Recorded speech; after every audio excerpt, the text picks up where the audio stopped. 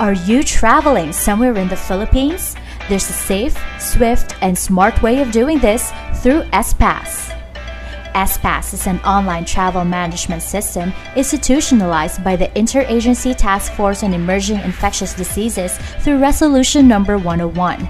It is intended as a one-stop communication and coordination platform for travelers and local government units. Before community opened and allowed people to go on with their daily lives under the new normal, there were a lot of requirements needed and you had to coordinate with several offices to secure a travel authority.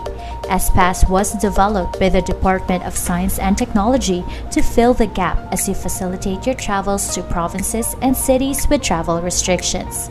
SPass provides solutions to common concerns you encounter before traveling, such as checking for travel policies of your destination province or city and the long lines in applying for travel permits. With SPass, you can check the travel policies of LGUs, apply for travel permits if needed, easily access, store, and print these permits, and track your own travel history.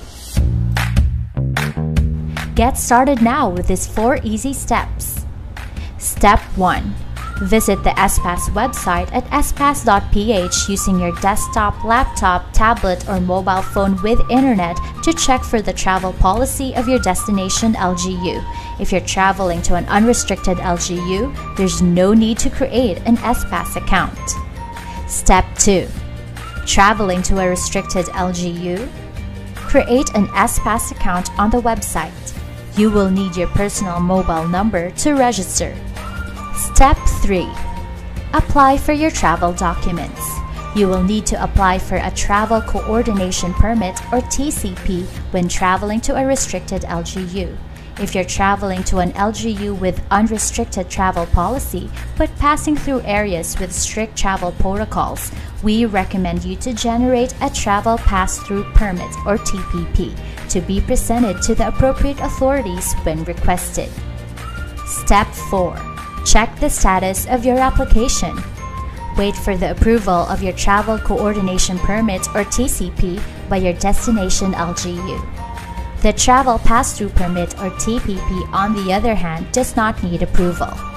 Once approved and you have all your travel requirements ready, you're good to go.